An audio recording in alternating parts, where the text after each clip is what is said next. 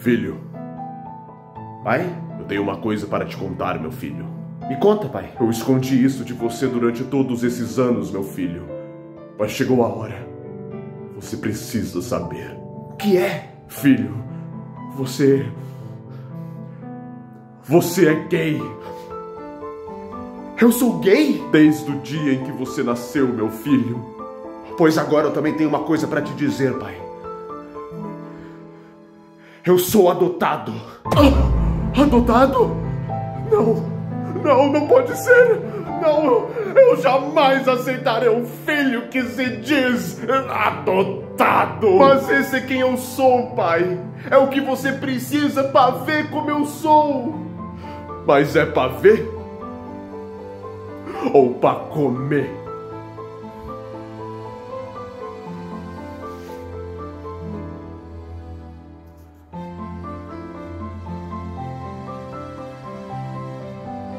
É para você comprar cigarro.